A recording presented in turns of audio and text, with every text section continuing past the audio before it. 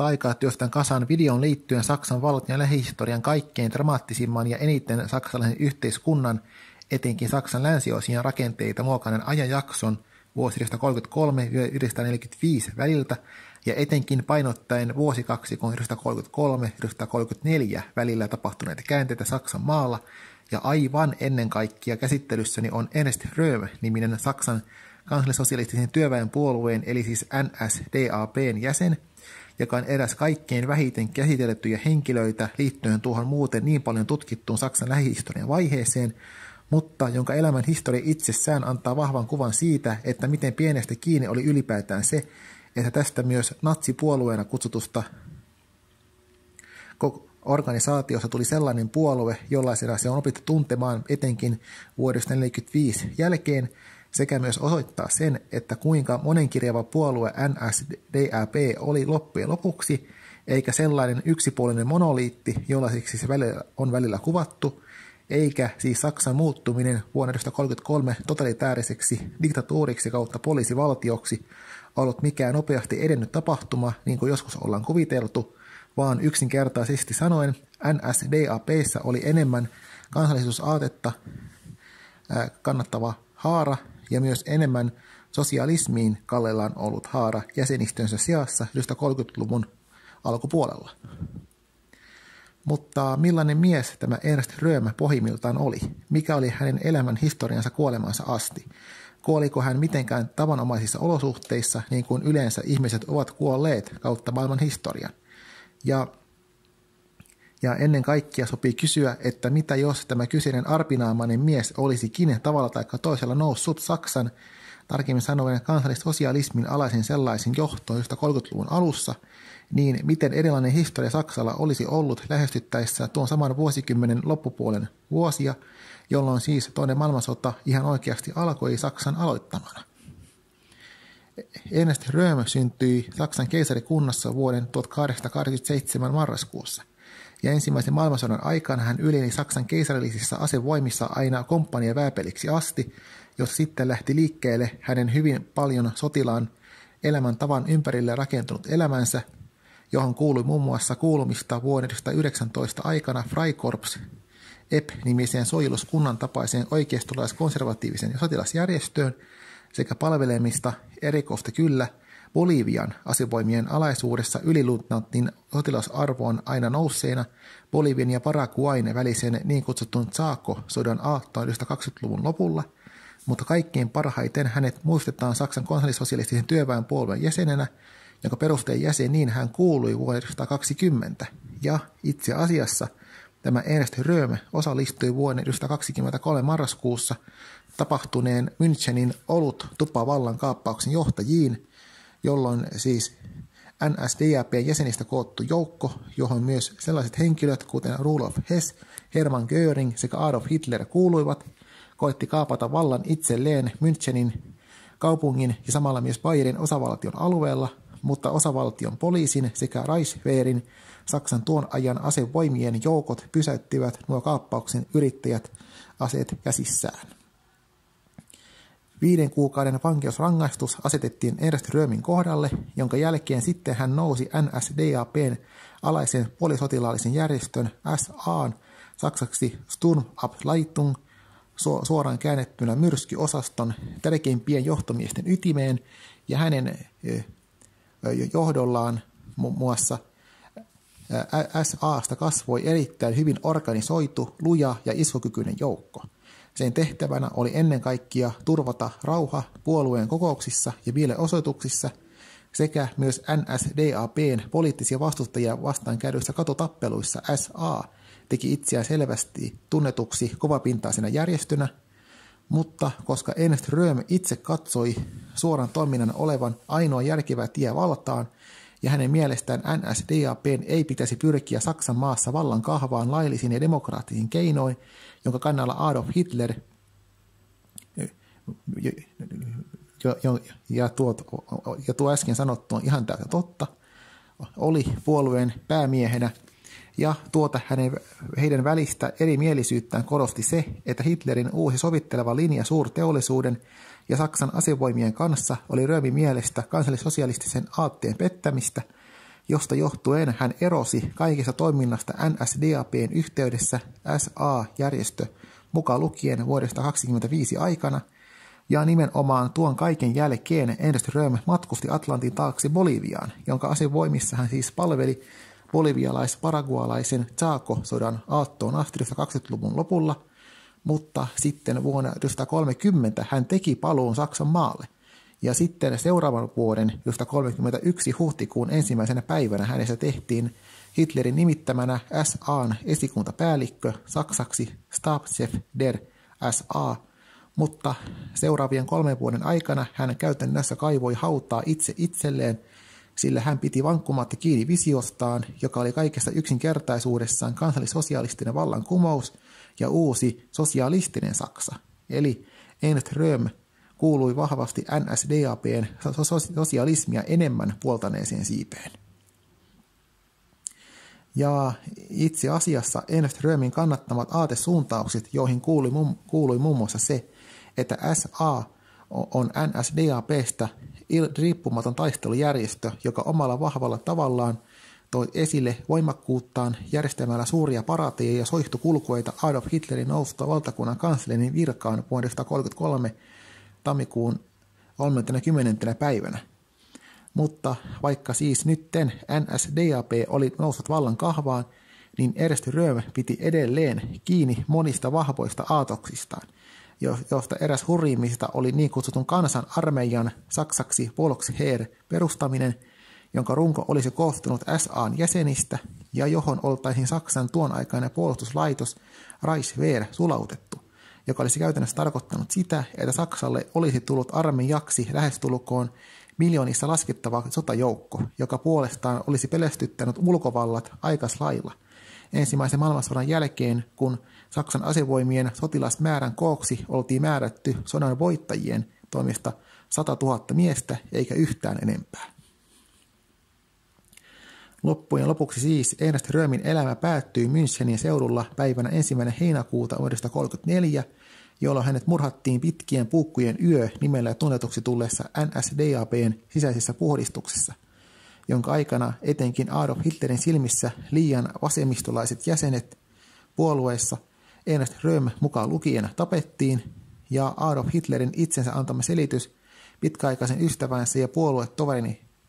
toverin hengen ristämisen oli se, että Ernst Röhm junaili SAn päämiehenä vallankaappausta. Röhmin radikaalilta kuulostaneet ajatukset, kun olivat laajassa tiedossa puolueen jäsenten keskuudessa. Mutta mitään vankkoja todisteita ei olla löydetty sen todisteeksi, että mitä vallankaappausta olisi ollut suunnitteilla, vaan Adolf Hitler halusi vain ja ainoastaan päästä eroon kaikista niistä, jotka hän koki uhaksi omalle valta-asemalleen joka vain ja ainoastaan vahvistui tuon saman vuoden 1934 elokuun aikana, jolloin hänestä tehtiin Saksan valtakunnan presidentin Paul von Hindenburgin kuoleman jälkeen saksalaisittain Führer, valtakunnan johtaja, jonka virkaan yhdistettiin valtakunnan presidentin ja valtakunnan kanslerin tehtävät, jota hän piti hallussaan toisen maailmansodan loppuvaiheisiin asti huhtikuussa 1945. Mutta mitä jos sittenkin asiat olisivat edenneet siten, että Adolf Hitlerin sijaan vuodesta 1934 eteenpäin tämä kyseinen arpinaama nimeltään Ernst Röhm olisi saanut itselleen valta-aseman Saksan maassa. Esimerkiksi syrjäyttämällä Hitlerin väkivaltaisesti valtakunnan kanslerin paikalta, eli toisin sanoen asiat olisivat edenneet päinvastoin kesä-heinäkuun vaihteessa vuonna 1934, Röhm olisi jäänyt elävien kirjoihin, mutta Hitler oltaisiin niistä kirjosta poistettu tuon pitkien puukkojen yönimisen puhdistuksen aikana tässä ja nyt esiteltävässä vaihtoehtoisessa aikajanassa. Sanotaanpa näin heti kättelyssä yksi asia. Ernst Römin tapainen mies Saksan valtion päänäytöstä 30-luvun puolen välissä olisi ollut asia, joka ei olisi, ollut, joka ei olisi tuonut rauhaa ja vakautta, siis NSDAPn kannattajien näkökulmasta katsottuna, Saksan valtakuntaan, sillä etenkin hänen aatoksensa, mukaan lukien hänen vaatimuksensa SAn ja Saksan vakinaisen armeijan keskenään sulauttamisesta monien muiden hyvinkin sosialistiselta kuulostavien aatostensa rinnalla, olivat erittäin epäsuosittuja monissa saksalaisen yhteiskunnan kerroksissa, eikä vain armeijan keskuudessa, vaan myös Saksan oikeisto konservatiivisissa piireissä, mukaan lukien useiden kirkkojen parissa toimineiden henkilöiden taholla. Taholta häntä pidettiin pelkkänä sosialistina, vaikkakin hän ruskeissa vaatteissa kulki punaisten sijaan, mutta myös saksalaisten kommunistien keskuudessa Ernest Röhm oli melkoinen punainen vaate, koska hänet nähtiin kommunistien monien aatteiden kaltaisia ajatuksia puoltavana miehenä, joka oli näkyvässä asemassa puolueessa, jonka aatemaailma ei loppujen lopuksi kovinkaan paljon vasemmalla ollutkaan. Eli monissa kansalaispiireissä Ernest Röhm oli melkoisen vastimielinen tyyppi, ja kun tuohon kaikkeen lisätään vieläpä se, että hän eli suhteellisen avoimesti homoseksuaalimiehen elämää – niin se, se oli täydellinen kauhistus monille saksalaisille kaikin tavoin siitä huolimatta, että hänen elämäntapansa oli just 30-luvun alun Saksassa sinällään laillinen juttu, niin maailma oli tuolloin niin toisenlainen, että Ernst Römin olisi ollut melkoisen hankalaa pysyä kiinni vallan asemassaan, kun niin monella Saksan valtakunnan asukkaalla oli niin paljon hampaan kolossa häntä vastaan, hyvin monesta syystä johtuen. Mutta jos aletaan pohtimaan asioita sellaiselta kannalta katsoen, että Ernst Römin onnistuu pysyä Führerin asemassa halkitusta 30-luvun vuodesta 1934 eteenpäin, vaikkakin hänen täytyy johtamansa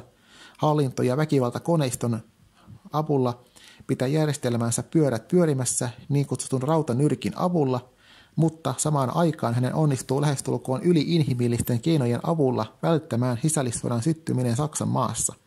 niin millaisista tilanteista hän löytää itsensä syyskuussa 1939, kun sotavoimiaan edellisen viiden vuoden aikana vahvistanut Saksa vyöryy Puolaan, jota ennen hän on muun muassa vuodesta 1936 aikana avannut valtionpään ominaisuudessa molemmat tuon vuoden olympialaiset Saksan maalla. Hänen johdollaan Saksa on tukenut sotilaallisesti niin maalla, merellä kuin myös ilmassa kenraali Francisco Francon joukkoja – johtamia siis sellaisia Espanjan sisällissodassa, sekä ollut aitio paikalla todistamassa, kun koko Itävallan valtio sekä Tsekoslovakian niin kutsutut sudetti saksalaisten asuinalueet sulautetaan vuosi 1938-1939 välisenä aikana.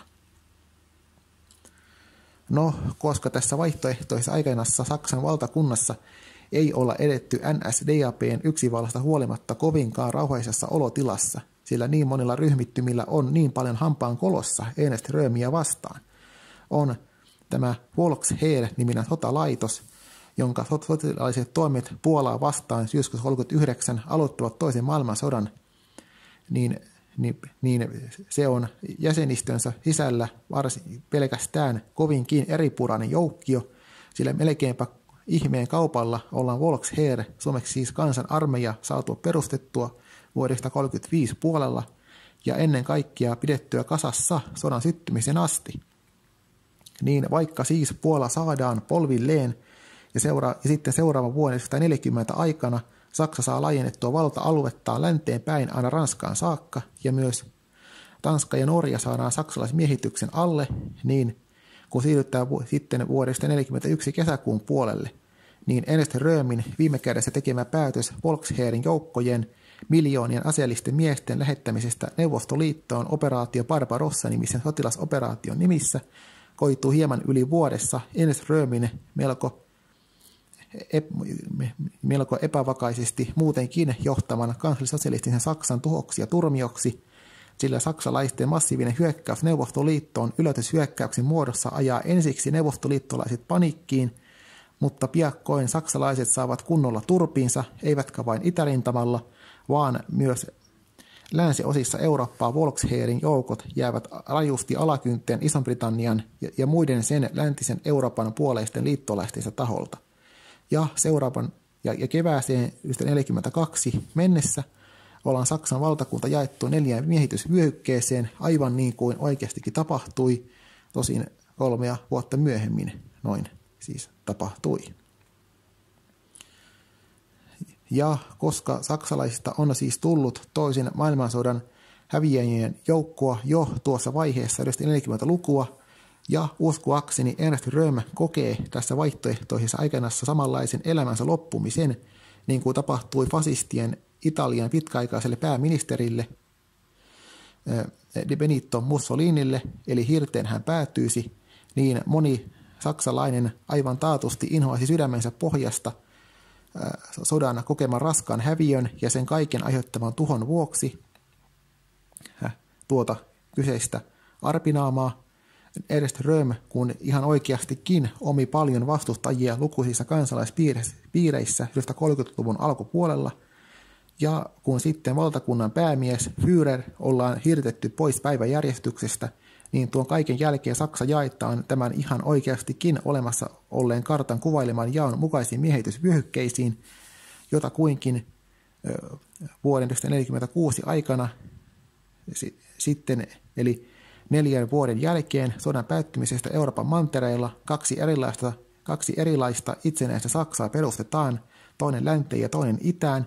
joiden muodostuminen koettaa saksalaisten keskuudessa tässä vaihtoehtoisessa aikanassa paremmaksi vaihtoehdoksi kuin elä, eläminen Ernst Römin tapaisen miehen johtamassa yhdessä ainoassa saksanimisessä valtiossa, jossa ei kovinkaan järjestyksellisessä tilassa eletty vuosi 1934-1942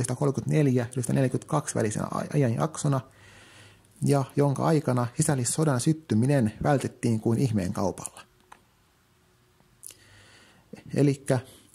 Toisin sanoen, Ernst Römin johtamana Saksan valtion historia olisi ollut kovin monin paikkoin toisenlaista, eritoten sisäisiltä olosuhteiltaan, koska hän oli liian paljon sotilaan kaltainen luonne ollakseen yhtä kyvykäs valtionpäämies. Ja kun hänen aatemaailmansa oli niin monen saksalaisen, eritoten konservatiivisesti suuntautuneen sellaisen mielestä aivan liian sosialistinen, ja jos hän olisi onnistunut väsäämään todelliseksi asiaksi hänen Volksheer-suunnitelmansa – olisi etenkin saksalaisten sotilaiden keskuudesta edes Römin arvostus ollut melkoisissa pohjamudissa 30-luvun loppupuolella. Ja kun tuohon kaikkeen lisätään vielä se, että Ernest Röhm eli melko avoimesti homoseksuaalimiehen elämää, jota ei pidetty läheskään samalla tavoin hyväksyttynä elämäntyylinä, niin kuin tänään on asian laita niin Saksassa kuin myös monissa muissa osissa maailmaa – niin Saksa olisi tehnyt itsestään todellisen hylkiövaltion, etenkin moraaliselta kannalta katsottuna 30-luvun maailmassa, samoihin aikoihin, kun toisen maailmansodan myrskyt lähestyivät Euroopan mantereen taivailla. Tämän kertaisen videoni pointti oli se, että vaikka Adolf Hitler aiheutti suuressa määrin tuhoa Saksan kansalle kuin myös monille muillekin kansoille vuosi 1933-1945 välisenä aikana – niin jos jokin toinen henkilö olisi ollut hänen paikallaan tuon saman ajanjakson välisinä vuosina, olisi vieläkin lyhyemmässä ajassa voinut Saksan maa jakaantua samalla tavoin, niin kuin sillä oikeastikin tapahtui 1940-luvun puolivälissä. Eikä yhtä ainoa Saksan nimistä maata nähty ma- maailmankartoilla siis ihan oikeasti kuin vasta lokakuun alun jälkeen vuodesta 90. Vaikka maailmanhistoria onkin täynnä monia kurjia valtion päitä, niin jokin toinen kurja valtionpää olisi voinut ajaa hallitsemansa valtion vieläkin lyhyemmässä ajassa hajalle niin henkisesti kuin myös hallinnollisesti. Tätä mieltä olen vaihtoehtoisen historian monia ulottuvuuksia tarkasti tutkittuani. Althi, eli meitsi, kiittelee hyvin paljon uusimman videonimisen tekeleeni katsomisesta, jonka kasaan työstäminen vaati muuta edellistä työtäni enemmän taustatutkimusta, siis korjaan maa edellistä työtäni enemmän taustatutkimusta ja ajan käyttöä käsikirjoituksen kirjoittamisen äärellä, mutta kaikesta huolimatta tykkäsin kovasti laittaa uutta YouTube-videota tulemaan tällä Althi-vaihtoehtoista historiakanavallani. Toivottavasti uurastuksen jälkiteitä miellyttää, mutta eipä haittaa, jos en ole siinä onnistunutkaan. Uutta videota on sitten luvassa jälleen kerran ensi viikon aikana. Tupetellaan silloin siis lisää oikein kivasti. Moikka moi ja vielä kerran mo sekä danke schön teille kaikille.